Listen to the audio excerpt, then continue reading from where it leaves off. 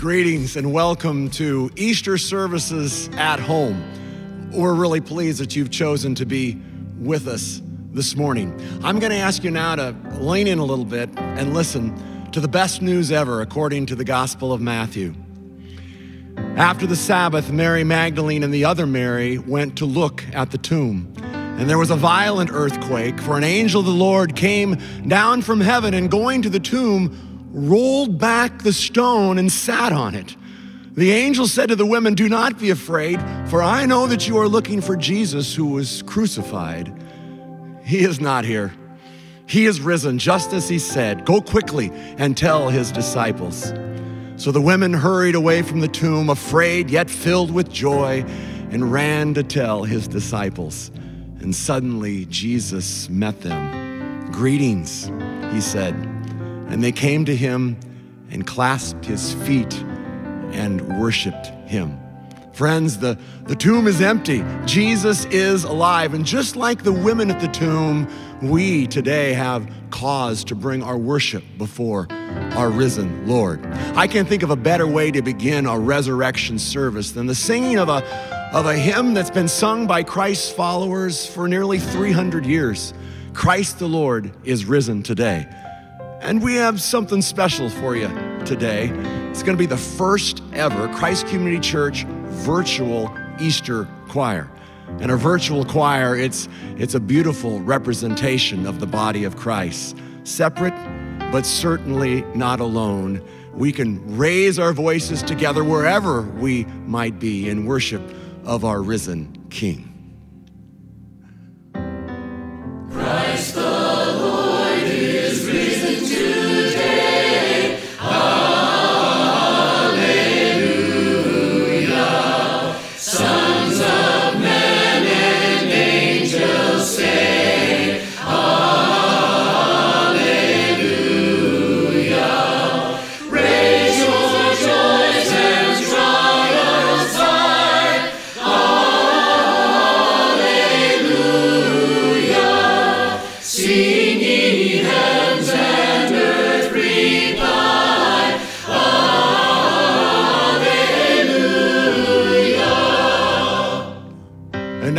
please join us wherever you might be? And we lift our voices together and sing verses two, three, and four. Lives again, our glorious King.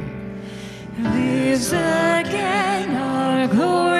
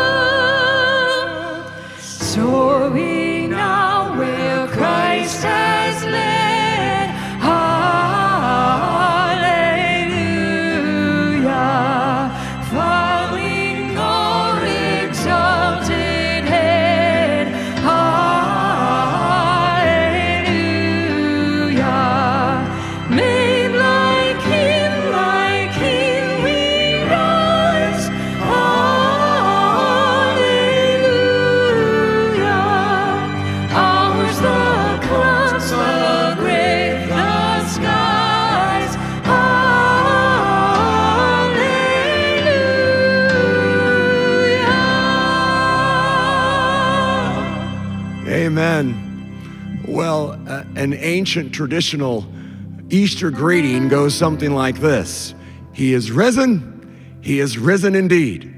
And so I'm going to say, He is risen, and then wherever you might be, please respond, He is risen indeed.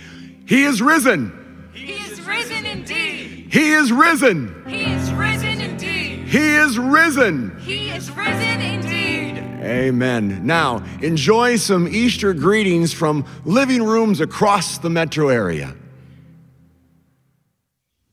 Happy. Happy. Happy Easter. Happy Easter from the Falkies. Hey, Yeah? you know what? What? He is risen. He is risen indeed! From the Bourne family, Happy Easter. Happy Easter. Happy Easter.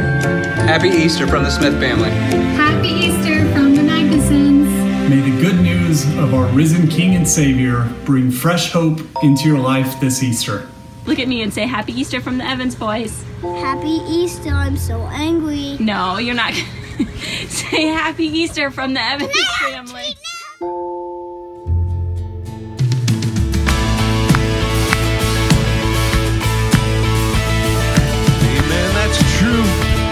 And we celebrate today the risen Savior. We hope you join us and connect with God in a worshipful way from wherever you are. Would you sing with us? Who breaks the power of sin and darkness, whose love is mighty and so much stronger. The King of glory, the King above all kings.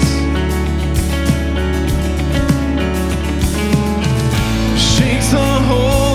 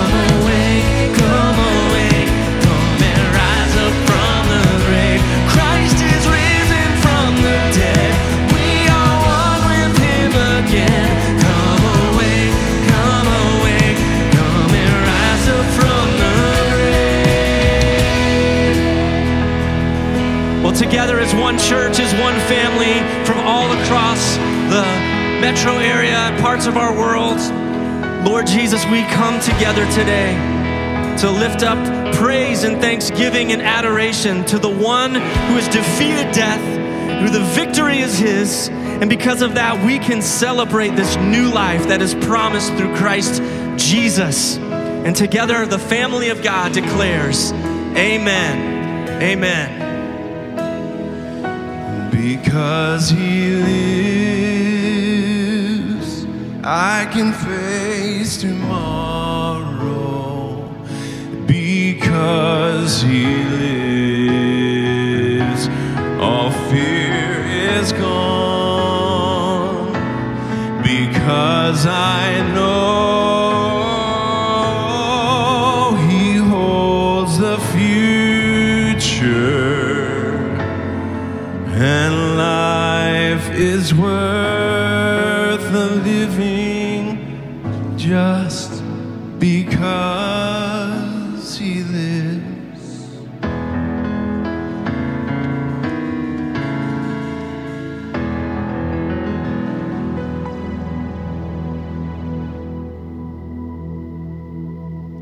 Happy Resurrection Day. It is so awesome to know that in dozens of homes throughout our city and throughout the country and even the world, there are people celebrating the fact that Jesus lives. Hey, we are so excited that you are here, that you're joining us right now. My name is Alex, and I get to serve as one of the ministers here at CCC. And we're just grateful that you've chosen to worship our risen Savior with us this morning, wherever you are. We'd love to see where you are. We'd love to see how you're worshiping. You can tag us on any social media at CCC Omaha with that handle, and we'd love to, to see what's happening and where you're worshiping Jesus at this morning. Hey, we're excited to, to have you here, and we're excited that all the kids are even watching as well. And if you missed a little bit earlier, we talked about a coloring sheet that kids are going to be able to do during the service. And so if you go to cccomaha.org, you're going to be able to find on there the Kids at Home page. There's going to be a coloring sheet that they're going to be able to fill out as Pastor Mark gives his message a little bit later on. And there's going to be fun clues,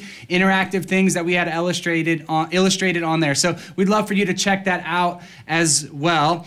Hey, uh, if you're new, we want to know who you are. We're excited that you're here, that you're in a living room, that you're that you've seen somebody share this somewhere throughout the week, and we want to know who you are. So there's going to be a link in the description below, and, and it's going to be a way for you to tell us who you are. We'd love to know who you are and uh, connect with you throughout the week. And so if you go to cccomaha.org slash new, you can uh, fill out just some quick information about who you are.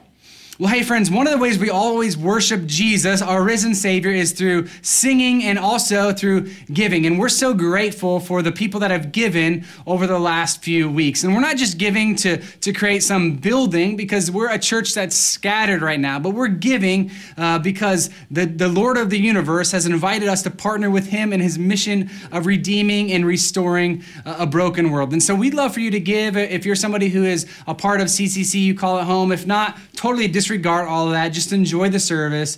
Enjoy what Jesus is doing uh, today through this experience.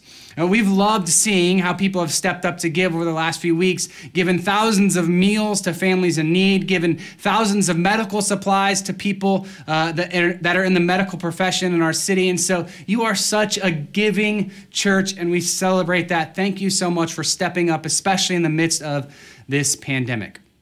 We've seen so many people step into this, this world that's different and have to do ministry on the fly. I know there's one guy I'm thinking of right now. I, I got to do ministry uh, in, the, in the middle school for a lot of years, and I met uh, a guy named Raleigh who had been doing middle school ministry for over 30 years. And, and Raleigh, he, he's not a guy that's been big on texting or uh, Zoom calls. All of those things were totally foreign to him. He's, he's a gruff guy who always wears shorts. If you come here on Sunday mornings, you will see Raleigh with a smile on his face, shaking your hands in the atrium above the stairs. But Raleigh, uh, because of the importance of connecting with his students, has decided he's going to learn Zoom and connect with his guys. And it's been so fruitful to see uh, people that have taken huge next steps in the middle of this pandemic uh, to do ministry to other people.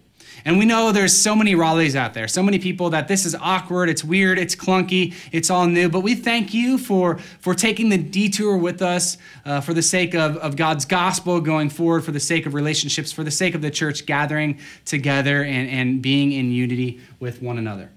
Hey, I want to let you know one last thing before Pastor Mark comes. Next week, we're starting a new sermon series. And I'm super excited about this sermon series. We had a meeting about it on Wednesday, and I'm excited for where God has led us in this sermon series. It's called House Arrest, and it's on the book of Philippians, which is one of my favorite books. It's about Paul, who is in the middle of house arrest, and maybe you feel like right now you're in house arrest, and this is going to be a great series for you but it's how Paul endured in the middle of this and the way that Paul wrote. And so we'd love for you to engage, come back with us next week, engage in that series of house arrest in the following weeks.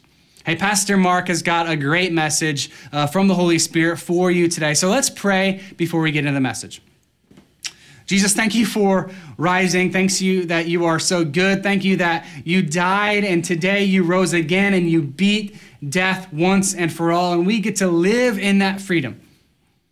God, I pray that everybody watching today would, would sense and feel your spirit.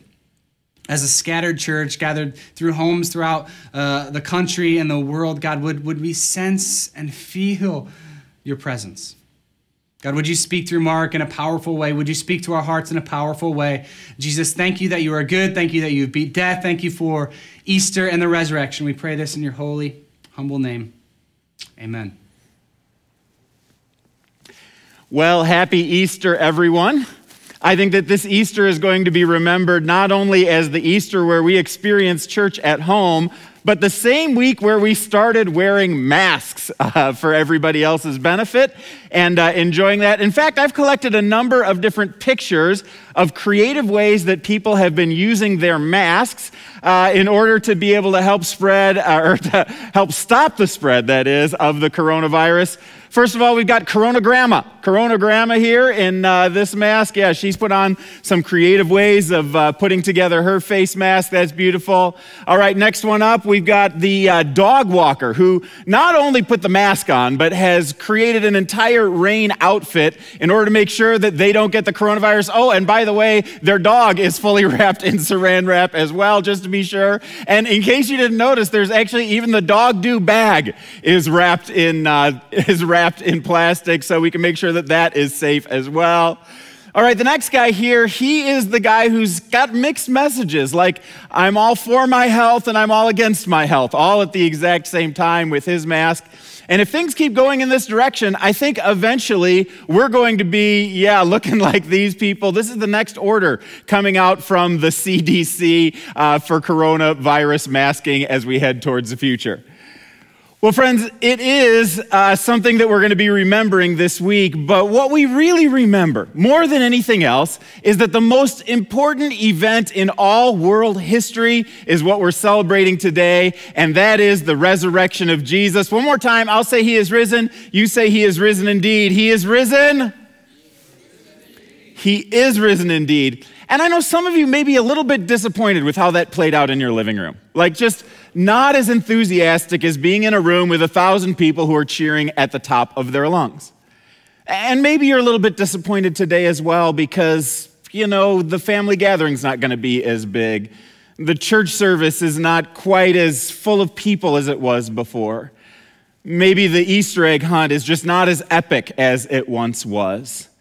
And the truth is, I got some things that I'm missing too. I love having a full church on Easter Sunday, and I love our family kickball game that we do every Easter afternoon, and those things are just not going to be able to happen today. But my hope and my prayer has been for all of you that maybe, just maybe, taking away some of the trappings and busyness and distractions of Easter can help us all to focus in on the thing that's most important and that is that Jesus beat death on resurrection day, and that we can all be free and experience resurrection along with him. That maybe all of us could lean into and experience the Easter story in ways that we haven't before because we can be less distracted than we were before.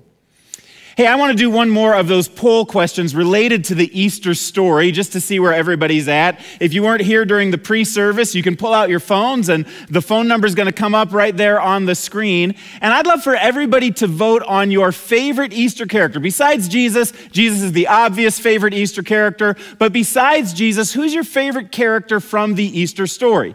And you can vote for any of these people. You can vote for the women who discovered the empty tomb. I mean, they were boss, they got up early in the morning. They discovered that the tomb was empty. Maybe your favorite is Doubting Thomas, you know, who said, uh, Unless I see the nail marks in his hands, unless I see the scars in his side, I'm not going to be able to believe. Maybe you're somebody who says, no, no, no, Nicodemus. He's my favorite. Nicodemus with the body bag. He's my favorite Easter character. Or some people may say, the bunny. The bunny is my favorite Easter character. Yeah, votes are coming in. We're getting a lot of votes in there. I know if I was voting at this point, I would be voting for Doubting Thomas because I'm just that kind of guy. I'm a skeptical guy. I'm the type of person who needs evidence in order to be able to see that something really is real. And uh, that would be where I'd at. I'd be on the blue one. But it looks like the favorite of all the favorites here is the women who discovered that the tomb was empty. You got to love the women, their boldness, their courage to be able to go out when other people were scared. And by far the least on this is Nicodemus, least favorite character in the Easter story. Well, you know what? Today, I'm going to be focusing in on the person who you deemed the least favorite character in the Easter story. And my hope is that by the end of the message, you'll go, oh, he was a lot better character than I thought he was. His name is Nicodemus. And the Easter story is not the first time that Nicodemus was uh, encountering Jesus. In fact, in the book of John, we see three different times that Nicodemus comes into play. The first time was two years earlier, probably in the Garden of Gethsemane, the same place that Jesus prayed before he died. That's probably where Nicodemus intercepted Jesus in this encounter. And I've asked my friend Milo if he might help us tell that story. Milo, are you out there? Can you help us with this uh, Nicodemus story? Oh, uh, hiya. Hey, hello there. Hey, everybody. Hi. Hey, um, happy Easter. Wow, uh, you, you sure are looking sharp today. Yeah, you, you look great. Oh, I like that tie. Nice tie. Oh, I, I, I wish I had a tie. Oh, uh, anyway, um, welcome to Channel 3 News. I'm Milo, and today I will bring you a very important update straight from my living room. Yeah, here's my living room. Just like everybody, I'm stuck at home too. But I still gotta bring you the news. So, I've been talking with a very important public figure. That's right, very important public figure. Can you guess who I'm talking to? Uh, no, no, it's not. It's not Trump. No, who said Trump? No, I, I was just talking with Nick himself. Oh, oh, uh, you you don't know Nick? Oh, well, um, let's see. Uh, great guy, Pharisee. His robes are always clean. Jewish leader. You know, Nick. Anyway, he told me that he had quite the night. He went to go see Jesus. You, you do know who Jesus is, though, right? Okay, good, good, good. He went to go see Jesus in the middle of the night. I don't know why. Why would anybody go see somebody in the middle of the night? That's weird if you ask me. He went to go see Jesus in the middle of the night. Yeah, and you know what? He said this. He said, Okay, so I know that you're from God because you're doing all these miracles and stuff. And then Jesus jumps in and says, Yeah, and if you want to see the kingdom of God yourself, you're going to have to be born again.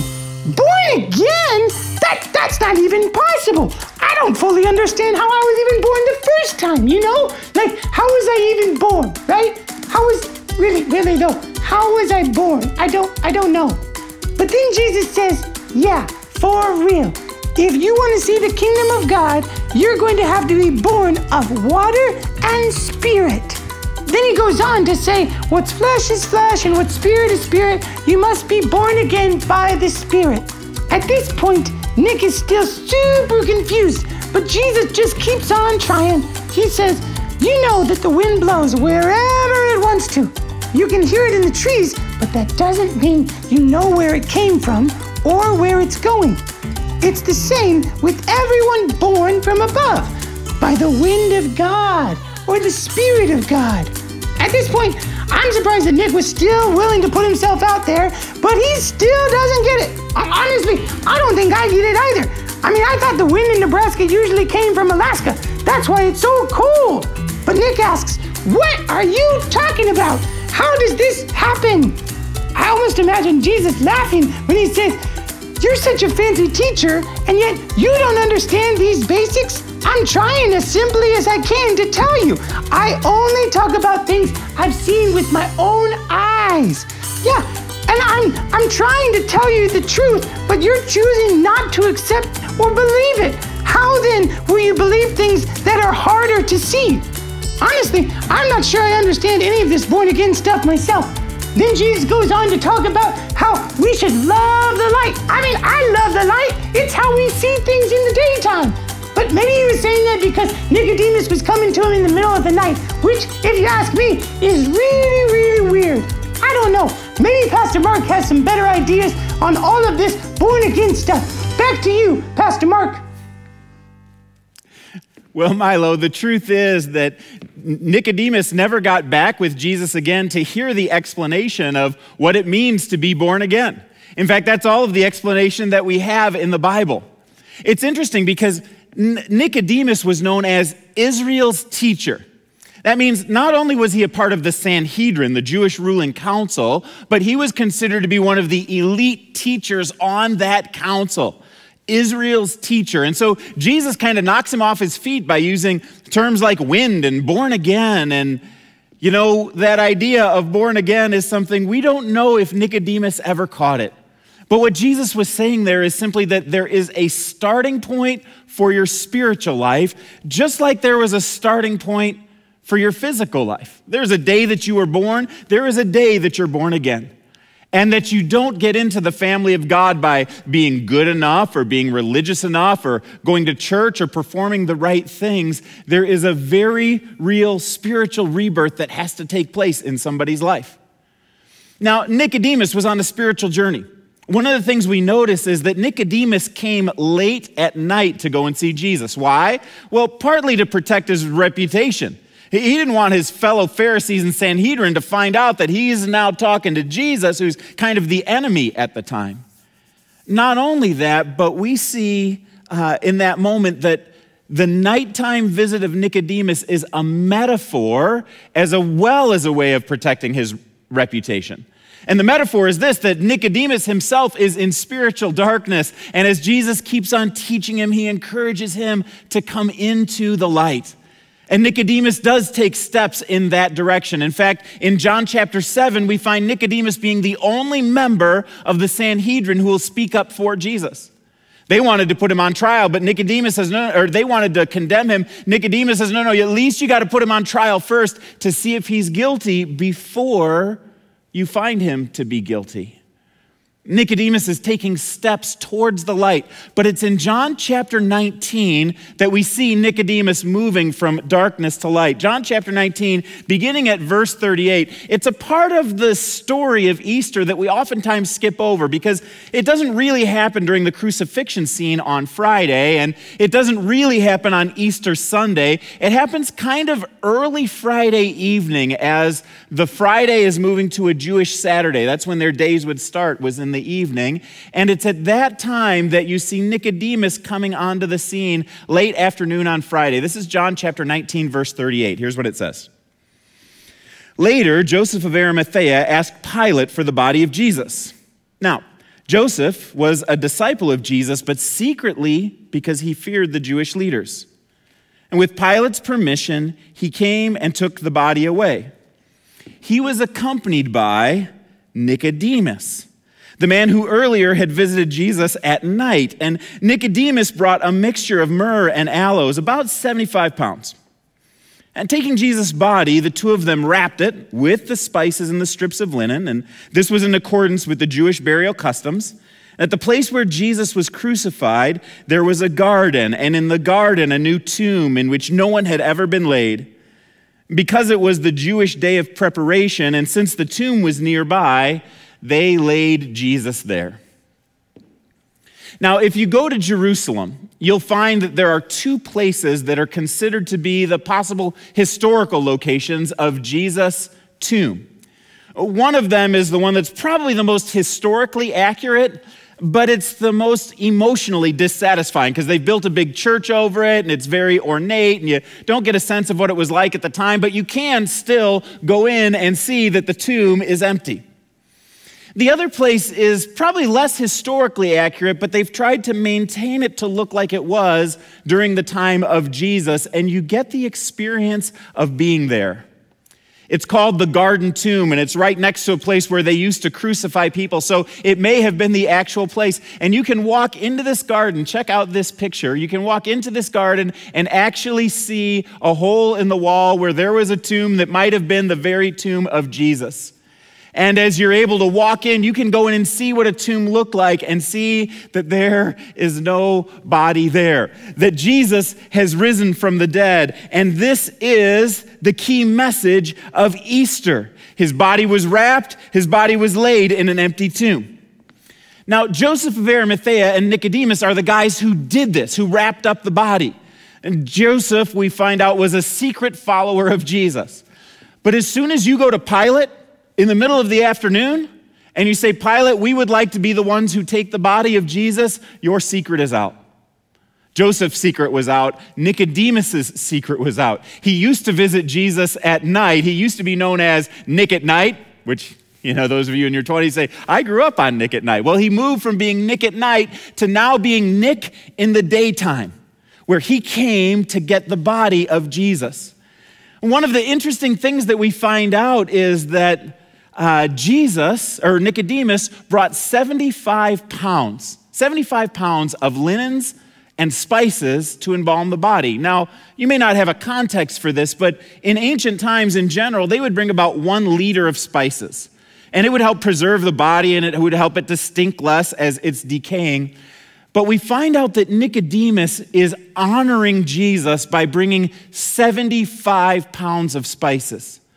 Now, that would have cost him a lot of money, probably about $100,000 in today's terms. That's an amazing amount of gift. Nicodemus, Israel's teacher, was honoring Jesus because he thought an awful lot of Jesus. I mean, that would be like bringing five of those 15 pound bags of sugar to help embalm the body. It would be like carrying along with you two of those 40 pound pellets of salt that you put in your water softener to embalm the body of Jesus. That's what Nicodemus brought because that's how highly he thought of Jesus. By this time, Nicodemus had turned from being a secret follower to be saying somebody, I want to honor him as highly as anybody gets honored in their death. And so that's what Nicodemus does. You wonder, why did Nicodemus make that transition? I mean, maybe it was the miracles that Jesus had done. Maybe he watched Jesus' teachings and finally understood what it meant to be born again. Or maybe it was what happened on Friday at the cross. You know, Nicodemus was probably there in the Sanhedrin when they found Jesus guilty and sent him to Pilate. I wonder as he developed his belief, what did he think in that moment? And I imagine that maybe Nicodemus went to the place, it wasn't that far away, where Jesus was crucified. And perhaps he was one of the people who was standing in the outskirts and looking up at Jesus as he was dying on the cross, his whipped body and the crown of thorns and hanging on the cross. And perhaps his heart was broken. And maybe he heard Jesus cry out that one liner, My God, my God, why have you forsaken me? And that one liner was not just a cry of anguish, it was a tip off to people who were Bible scholars. Nicodemus, being a Bible scholar, would know oh, that's the first line of Psalm 22. In Psalm 22, it starts off by saying, My God, my God, why have you forsaken me? And then it gives a graphic description of the Messiah's death. It says things like, I was surrounded by my enemies. They came around me like dogs. They hurled insults at me. And one of the lines in there says, They pierced my hands and feet. Now, Psalm 22 is written a thousand years before Nicodemus or Jesus was around, hundreds of years before crucifixion had even been invented as a form of capital punishment. And yet it predicts that the Messiah's hands and feet would be pierced.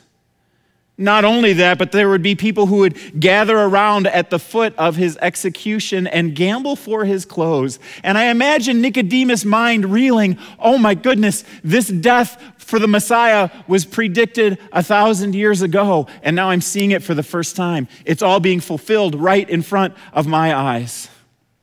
And so Nicodemus says, I'll take the body. And Nicodemus and Joseph take the body down.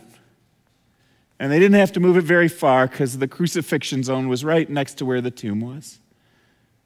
They laid the body down, and they brought the spices, and they tenderly, carefully wrapped it. You know, in their culture, they were a lot more comfortable with death. Death was something that was graphic. A crucifixion would have been done at a crossroads. People would have died in their homes rather than in hospitals or other places. Kids would have been exposed to death at an early age and would have asked those kinds of questions. It's interesting that in the United States, we kind of quarantine and sanitize death. Oftentimes, it'll happen in a hospice center or in an ICU. Kids don't see it and oftentimes don't even come to the services afterwards. And when it happens, bodies are taken and they're dressed up really nicely and makeup is put on and their hands are folded peacefully. People come and see the well presented body and have a well orchestrated service for an hour, express their condolences, and get on with life. It's been sanitized and quarantined here. But one of the interesting things about this coronavirus time is that death is really being thrown in our face. If you watch the news, you'll see the death tickers and comparing today's number of deaths to yesterday's number of deaths. People are wearing masks and dramatically changing their behavior. Why? Because of the fear of death, because of the fear of death hitting more and more people. And I wonder, I wonder if perhaps the flip side of the coronavirus might wind up being a blessing to all of us. Because it gets us to begin thinking about that question of death. In fact, it's the biggest question that has ever been asked by humanity. People of every culture, of every age, for thousands of years have been asking the same most compelling question that people have to ask when they come face to face with death. And that's this question that's answered on Easter Sunday. Because Easter is where the deepest question of life is answered the question, can I cheat death? Easter is important and it's celebrated every year because it answers the question can I cheat death? I mean, you think about the Easter story, it starts off with the concept of Good Friday, which is the biggest grief day in all of history, where the best man with the perfect life dies the most horrific death possible. It's grief day. But it's greeted two days later on Easter Sunday by the biggest hope day in all of world history. The biggest grief day, complemented by the biggest hope day. Because Jesus' body being laid in a brand new tomb hewn out of solid rock with a big stone rolled across the front is not the end of the story. The end of the story comes on Easter Sunday, or at least the next chapter of the story, when the women, in their boldness, show up at that tomb to pay their respects. And what they find there is something that nobody ever expected. They found that the guards were gone. They found that the, the stone had been rolled away. And when they looked inside the tomb, what they found was no body. And nobody expected no body. It was the moment that Jesus, that they realized Jesus has risen from the dead. The angels met them there and said, He has risen from the dead, just as He said. And they ran back and they told the guys, and the guys heard the news, and John and Peter ran ahead to the tomb. And John records that Peter went into the tomb first, but I ran the fastest. I actually got to the tomb first because he's a guy and he's got to brag a little bit about, you know, how fast he was in getting to the tomb. So he says, I got to the tomb first. Peter went inside, but they found the same thing no body. And nobody ever expected no body. But that wasn't the end of the story. I think that we can reasonably speculate that Nicodemus and Joseph of Arimathea went to check the tomb. And this is important because there was a theory that rolls around out there that maybe the women didn't quite get it right. I mean, after all, they were filled with grief, they were hysterical, they're women after all. Maybe they went to the wrong tomb. And I think that it's possible that they could have gone to the wrong tomb. And it's possible that Peter and John, who went afterwards, could have gone to the wrong tomb as well. But there is no way that Nicodemus and Joseph of Arimathea went to the wrong tomb. It was, it was Joseph's tomb. They laid him there the day before. They knew where he was. And the guards and the Pharisees and everybody who saw him crucified couldn't have all gone to the wrong tomb. No, one of the great facts of world history is that the tomb is empty. And that wasn't the final chapter of the story. That's the climax of the story that Jesus rose from the dead, but he had an encore. He came back and he had dinner with the guys. He had breakfast on the beach. He met people walking along the road as they went to the city of Emmaus. He appeared to the women in the garden. He appeared one time to 500 people at the same time. See, Jesus rose from the dead. And he said, You too can rise from the dead. In fact, Jesus was quoted as saying, Whoever believes in me will have eternal life. And the reason why you can have eternal life is because Jesus broke the death barrier, made a pathway possible for you to experience eternal life. This is the hope that we have. You want to answer that big question of all time, the question that people ask Can I cheat death? And the answer to that question is a resounding and powerful yes, you can cheat death. Here's the reason why. Nicodemus' story is included in the Bible, I'm convinced, because eventually Nicodemus probably became friends with John. They were a part of this New Testament community. Nicodemus went public with his faith when he took Jesus' body down from the cross. John was one of the early leaders. I wonder if they didn't become buds. I wonder if Nicodemus didn't become a consultant on the Old Testament scriptures to the New Testament community.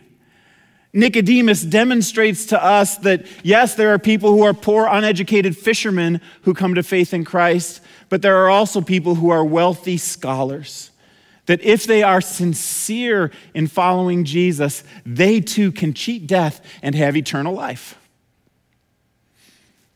You know, I've done a lot of funerals uh, in my day.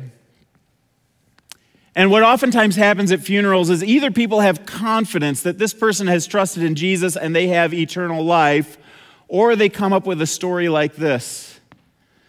You know, Bill was a really good person.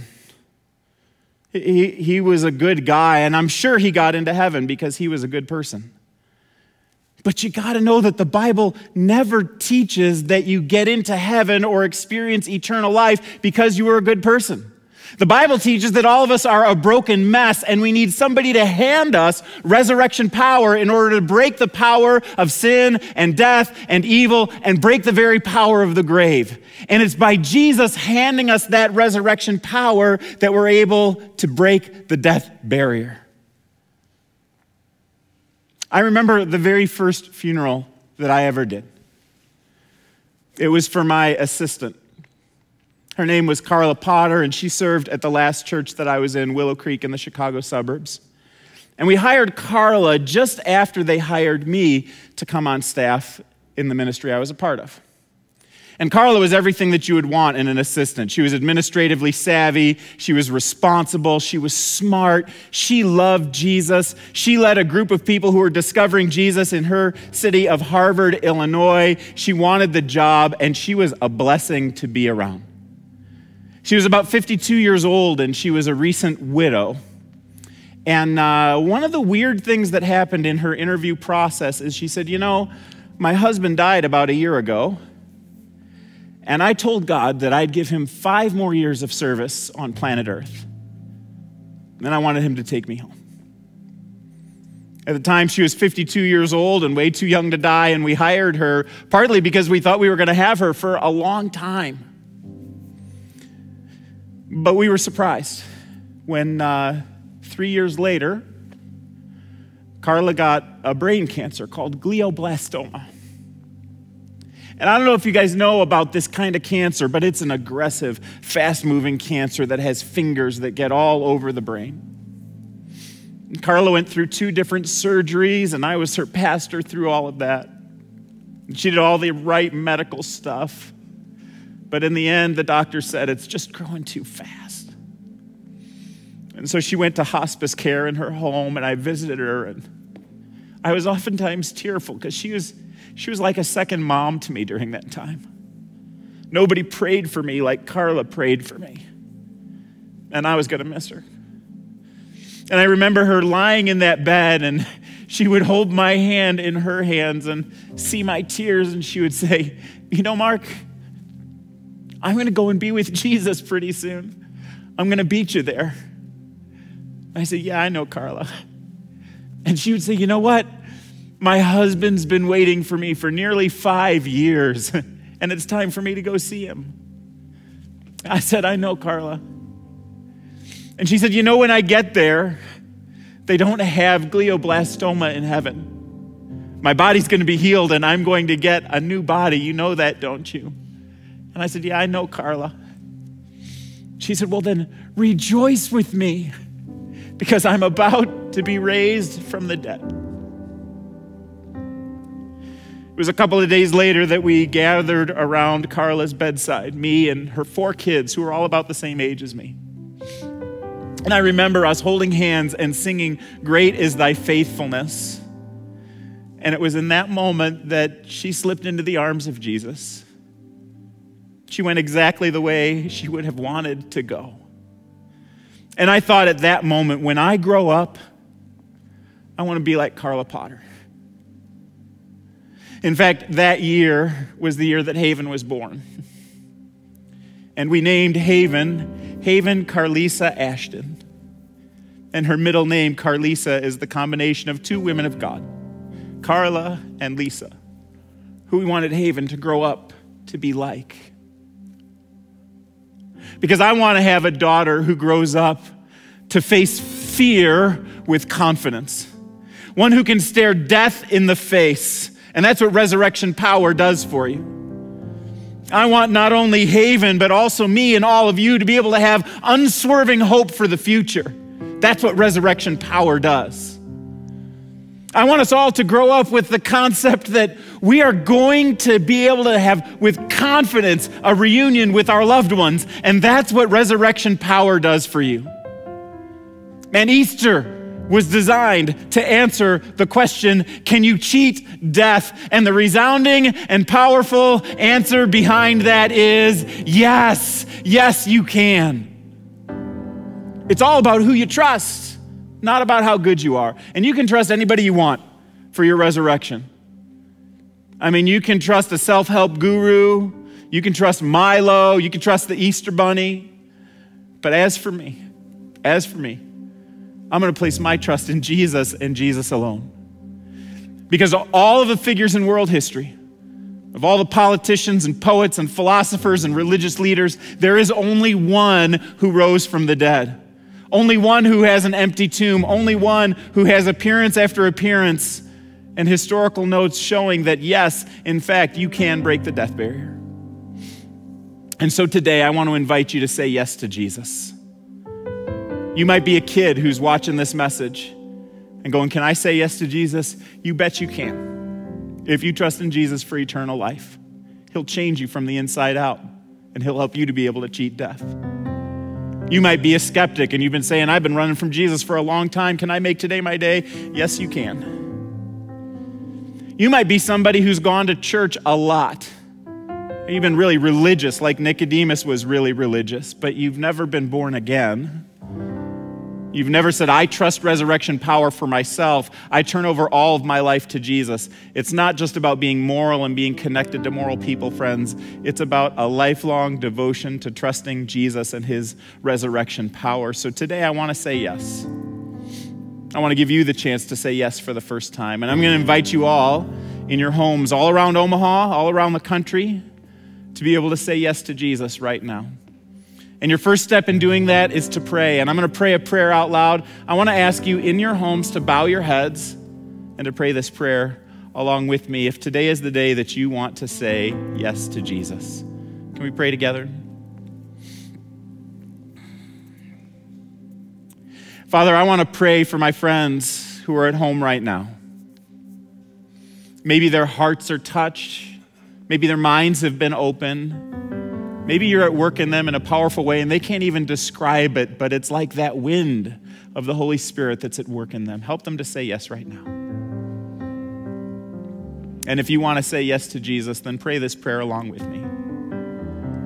Jesus, I believe today. I believe in your death on the cross. I believe in your resurrection from the dead. And I believe that I can cheat death by trusting in you, by your resurrection power. You're welcome to come live inside me. Please make your home right here. And I pray it in the mighty name of Jesus, who died for me and broke the death barrier. Amen. Well, friends, if you're somebody who prayed that prayer for the first time today, I want to congratulate you and say, Welcome to the family of God. Let's applaud for them all over Omaha, all over the world. You can't hear it, but you're getting applause from all over the place that you have made a decision to be a follower of Jesus. And I'm so grateful for that. You know, I want to invite you to do two things as a result of being a follower of Jesus. Actually, one is something I want everybody to do, and one is for people who have made a decision at this point in their lives or are curious for more. And the first thing I want to do is I want to use our survey to find out where you're at spiritually. So if you could pull out your phones one last time, we would love to be able to figure this out. You've got four choices. They go around A, B, C, D. Choice number one is A, already following Jesus. So if you're someone who says, you know what, I've been following Jesus for a long time, I'm following him today, but this is not a new thing for me, you would be in category number one. If you're somebody who says, today is the day that I prayed that prayer, I'm a believer today. I joined you in that. I experienced resurrection power today. Then you would be in part B. I'm believing today.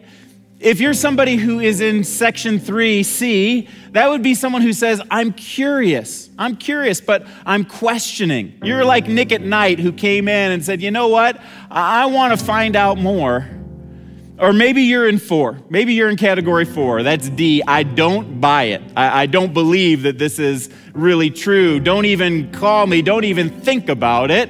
Uh, maybe that's the case for you. And if it is, then uh, that's fine. We respect you. In fact, for all of these, we're not collecting any of this data to find out, you know, people's phone numbers. We're not going to call you back. We just want to give an opportunity to be able to celebrate with you.